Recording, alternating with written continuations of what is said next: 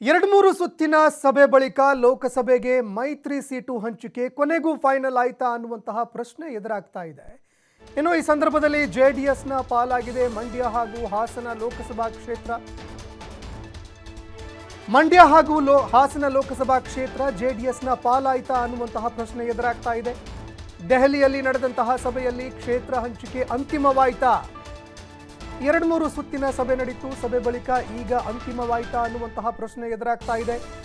ಇನ್ನು ಎಸ್ಗೆ ಮೂರು ಕ್ಷೇತ್ರ, ಬಿಜೆಪಿಗೆ ಇಪ್ಪತ್ತೈದು ಕ್ಷೇತ್ರಗಳಲ್ಲಿ ಸ್ಪರ್ಧೆ ಮಾಡುವಂತಹ ಅವಕಾಶ ಸಿಗುತ್ತೆ ಅಂತ ಹೇಳಲಾಗ್ತಾ ಇದೆ. ಅಮಿತ್ ಶಾ ಹಾಗೂ ಎಚ್ ಡಿ ದೇವೇಗೌಡರ ಚರ್ಚೆ ಬಳಿಕ ಈ ಸೀಟು ಹಂಚಿಕೆ ಫೈನಲ್ ಆಗಿದೆ ಅಂತ ಹೇಳಲಾಗ್ತಾ ಇದೆ.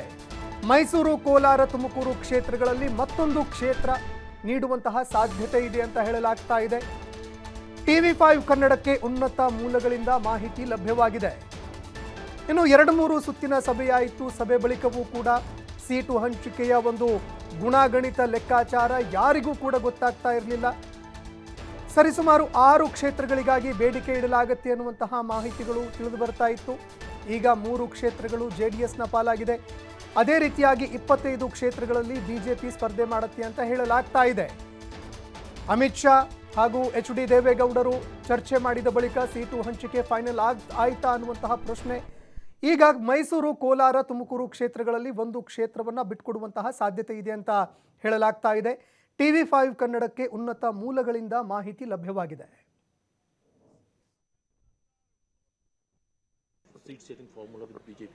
There is no issue at all regarding seat sharing comfortably will going to with mutual we We are going to share the seats. Our top priority is not for the seat sharing. Our priority is to win all the 28 parliamentary segment from Karnataka. Uh, some crucial seat also in Karnataka. Uh, Yeah, we we discussed everything, the strength and weakness of the all the 28 constituency.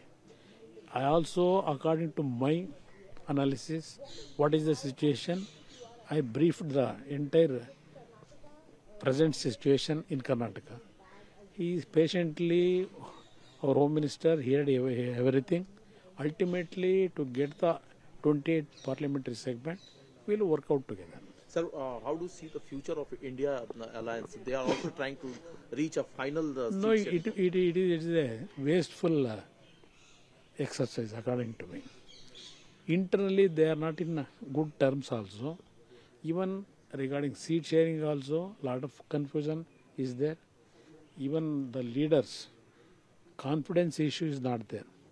Without coming together, without mutual confidence, how they will going to succeed? It will not going to helpful to any party or any india alliance, Sir, JDS Kerala, NDA alliance. JDS Kerala unit also uh, want to uh, fight in the election. Uh, No, that situation is different. Kerala unit, they are in LDF team in Kerala. Even one minister is also from our party is in LDF. There actually, they will they will going to take the decision from that Kerala unit. It is not uh, actually what decision which we are taken. This is different issue. That is different issue.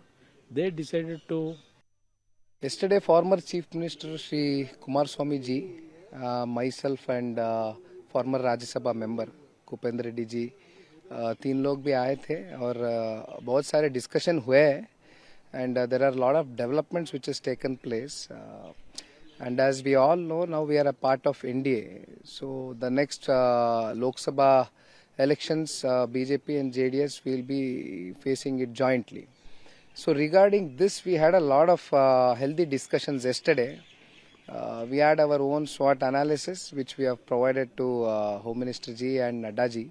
So they had their saying, and uh, in the future days, all we want to achieve is 28 Lok Sabha seats, which we see in Lok, uh, in Karnataka. We want to achieve 28 Lok Sabha seats this time and win the hearts of the people of Karnataka. So absolutely, there are no hurdles. Uh, we are very happy. The discussions are going really well and uh, in fact we are uh, already uh, in the terms of uh, forming the co- uh, coordination committee also uh, which i'll also be a part of it so there will be no hurdles in the future days we'll take it very smoothly And our only intention, BJP and JDS, is to win 28 out of 28 in Karnataka. That's our only intention. And what ಈ ಬಗ್ಗೆ ಮತ್ತಷ್ಟು ಮಾಹಿತಿ ಕೊಡ್ತಾ ಹೋಗ್ತಾರೆ ಪ್ರತಿನಿಧಿ Shashikumar Doddaiah. Phone ಸಂಪರ್ಕದಲ್ಲಿ join ಆಗಿದ್ದಾರೆ. ಶಶಿಕುಮಾರ್, ಯಾವುದೇ ಒಂದು ಮೈತ್ರಿ ಆಗಿರಲಿ ಅದರಲ್ಲಿ ತೊಡಕು ಬರುವಂಥದ್ದು, ಸಮಸ್ಯೆಗಳು ಎದುರಾಗುವಂಥದ್ದು, ಸೀಟು ಹಂಚಿಕೆ ವಿಚಾರಕ್ಕೆ ಸಂಬಂಧಪಟ್ಟಂತೆ, ಇಲ್ಲಿ ಬಿಜೆಪಿ ಹಾಗೂ ಜೆ ಡಿ ಎಸ್ ನಡುವೆ ಯಾವುದೇ ಸಮಸ್ಯೆಗಳು, ತೊಡಕುಗಳು ಕೂಡ ಬರ್ತಾ ಇಲ್ಲ ಅನ್ನುವಂಥದ್ದು ಕೂಡ ಇಲ್ಲಿ ಸ್ಪಷ್ಟವಾಗ್ತಾ ಇದೆ. ಸೀಟು ಹಂಚಿಕೆ ಲೆಕ್ಕಾಚಾರ ಯಾವ ರೀತಿಯಾಗಿ ಮಾಡ್ತಾ ಇದೆ? ಜೆ ಡಿ ಎಸ್ ಅದೇ ರೀತಿಯಾಗಿ ಮುಂಬರುವಂತಹ ಲೋಕಸಭೆ ಚುನಾವಣೆಗೆ ಸಂಬಂಧಪಟ್ಟಂತೆ ಯಾವ ರೀತಿಯಾಗಿ ತಯಾರಿ ಮಾಡ್ಕೊಳ್ತಾ ಇದೆ ಅಂತ. ಸಂತೋಷ್ ರಾಥೋಡ್ ಏನು ಲೋಕಸಭಾ ಚುನಾವಣೆ ಹತ್ರ ಆಗ್ತಿದ್ದಂತೆ ಈಗಾಗಲೇ ಬಿಜೆಪಿ ಮತ್ತೆ ಜೆಡಿಎಸ್ ಮೈತ್ರಿ ಆಗಿರ್ತಕ್ಕಂಥದ್ದು. ಒಂದು ಕಡೆ ಮೈತ್ರಿ ಆಗಿರೋ ಒಂದೆಡೆ ಸೀಟು ಹಂಚಿಕೆ ವಿಚಾರವಾಗಿಯೂ ಕೂಡ ಸಾಕಷ್ಟು ಚರ್ಚೆಗಳು ಗುಸುಗುಸುಗಳು ಕೂಡ ಶುರುವಾಗಿದ್ರು. ಅಂದ್ರೆ, ಆ ಜೆಡಿಎಸ್ ಕನಿಷ್ಠ ಆರರಿಂದ ಏಳು ಸ್ಥಾನಗಳನ್ನ ಬೇಕೇ ಬೇಕು ಅಂತ ಹೇಳಿ ಪಟ್ಟಿಡಿದು ಕೂತಿತ್ತು. ಆದ್ರೆ, ಇವತ್ತು ನಡೆದಂತ ಏನು ಕೇಂದ್ರ ಸಚಿವರಾಗಿರ್ತಕ್ಕಂಥ ಅಮಿತ್ ಶಾ ಅವರ ನೇತೃತ್ವದಲ್ಲಿ ನಡೆದಂತ ಮೈತ್ರಿ ನಾಯಕರ ಸಭೆಯಲ್ಲಿ ಸ್ವತಃ ಮಾಜಿ ಮುಖ್ಯಮಂತ್ರಿ ಎಚ್ ಡಿ ಕುಮಾರಸ್ವಾಮಿ ಅವರು ಕೂಡ ಪಾಲ್ಗೊಂಡಿರ್ತಕ್ಕಂಥದ್ದು. ಸುದೀರ್ಘ ಎರಡರಿಂದ ಮೂರು ಗಂಟೆಗಳ ಕಾಲ ನಡೆದಂತ ಈ ಒಂದು ಚರ್ಚೆನಲ್ಲಿ ಅಂತಿಮವಾಗಿ ಮಂಡ್ಯ ಮಂಡ್ಯ ಸೇರಿದಂತೆ ಒಟ್ಟು ಕರ್ನಾಟಕದ ಮೂರು ಕ್ಷೇತ್ರಗಳನ್ನ ಜೆಡಿಎಸ್ಗೆ ಬಿಟ್ಕೊಡುವಂತದ್ದು ಕೂಡ ಅಂತಿಮವಾಗಿರ್ತಕ್ಕಂಥದ್ದು. ಇನ್ನುಳಿದಂತೆ ಇಪ್ಪತ್ತ ಐದು ಕ್ಷೇತ್ರಗಳನ್ನ ಬಿಜೆಪಿಗೆ ಬಿಟ್ಕೊಡುವಂತದ್ದು ಆ, ಇವರ ಇಬ್ಬರ ಮೈತ್ರಿಯ ಏನು ಪಕ್ಷಗಳೇನಿದಾವೆ ಜೆಡಿಎಸ್ ಮತ್ತೆ ಬಿಜೆಪಿ ಎರಡರ ಅಜೆಂಡಾ ಕೂಡ ಒಂದೇ ಆಗಿರ್ತಕ್ಕಂಥದ್ದು. ಮತ್ತೊಮ್ಮೆ ಪ್ರಧಾನಿ ಮೋದಿ ಅವ್ರನ್ನ ಮೋದಿ ಅವ್ರನ್ನ ಪ್ರಧಾನಿಯನ್ನಾಗಿ ಮಾಡಬೇಕು. ಜೊತೆಗೆ ಕಾಂಗ್ರೆಸ್ ಏನು ರಾಜ್ಯದಲ್ಲಿ ಅಧಿಕಾರದಲ್ಲಿದೆ. ಅವ್ರಿಗ ಸದ್ದು ಸದ್ದಡಗಿಸ್ಬೇಕು ಅಂತ ಹೇಳಿದ್ರೆ ಯಾವುದೇ ಕಾರಣಕ್ಕೂ ಈ ಬಾರಿ ಕಾಂಗ್ರೆಸ್ಗೆ ಅಧಿಕಾರವನ್ನ ಬಿಟ್ಕೊಡ್ಬಾರ್ದು. ಲೋಕಸಭೆನಲ್ಲಾದ್ರೂ ನಮ್ಮ ಆ, ಸೇಡನ್ನ ತೀರ್ಸ್ಕೊಳ್ಬೇಕು ಅನ್ನೋ ಕಾತರದಲ್ಲಿ ಎರಡೂ ಪಕ್ಷಗಳು ಇರ್ತಕ್ಕಂಥದ್ದು. ಯಾಕೆಂದ್ರೆ ಕಳೆದ ವಿಧಾನಸಭಾ ಚುನಾವಣೆ ಇರ್ಬೋದು ಕಳೆದ ಏನು ಇತ್ತೀಚೆಗೆ ನಡೆದಂತ ಕೆಲವೊಂದು ವಿಧಾನ ಪರಿಷತ್ ಚುನಾವಣೆಗಳಿರ್ಬೋದು, ಎಲ್ಲದರಲ್ಲೂ ಕೂಡ ಕಾಂಗ್ರೆಸ್ ಮುನ್ನಡೆಯನ್ನ ಸಾಧಿಸ್ಕೊಳ್ತಾ ಇರ್ತಕ್ಕಂಥದ್ದು. ಹೀಗಾಗಿ ಏನಾದ್ರೂ ಮಾಡಿ ಕರ್ನಾಟಕದಲ್ಲಿ ಕಾಂಗ್ರೆಸ್ನ ಅಧಿಕಾರದಿಂದ ವಂಚನೆಯನ್ನ ವಂಚಿತರಾಗಿ ಮಾಡ್ಬೇಕು ಅಂತ ಹೇಳಿದ್ರೆ ಪದಚ್ಯುತಿಗೊಳಿಸ್ಬೇಕು ಅನ್ನೋದೇ ಆದ್ರೆ ಕೇಂದ್ರದಲ್ಲಿ ನಡತಕ್ಕಂಥ ಅಂದ್ರೆ ಲೋಕಸಭಾ ಚುನಾವಣೆಯಲ್ಲಿ ಮಂಡ್ಯದಲ್ಲಿ, ಅದರಲ್ಲೂ ಕೂಡ ಕರ್ನಾಟಕದಲ್ಲಿ ಅತಿ ಹೆಚ್ಚು ಸ್ಥಾನಗಳನ್ನ ಮೈತ್ರಿ ಬೆಂಬಲಿತರು ಗೆಲ್ಲೇಬೇಕು ಅಂತ ಹೇಳಿ ಪಟ್ಟು ಹಿಡಿದಿರ್ತಕ್ಕಂಥದ್ದು. ಹೀಗಾಗಿ ಈ ಒಂದು ಕ್ಷೇತ್ರ ಹಂಚಿಕೆ ವಿಚಾರವಾಗಿ ಕೂಡ ಜೆಡಿಎಸ್ ಒಂದು ರೀತಿ ರಾಜ್ಯ ಆಗಿದೆ ಅಂತಾನೆ ಹೇಳ್ಬೋದು. ಮಂಡ್ಯ ಮತ್ತೆ ಹಾಸನ ಸೇರಿದಂತೆ ಒಟ್ಟು ಮೂರು ಕ್ಷೇತ್ರಗಳನ್ನ ಜೆಡಿಎಸ್ಗೆ ಬಿಟ್ಕೊಡ್ತಕ್ಕಂಥದ್ದು.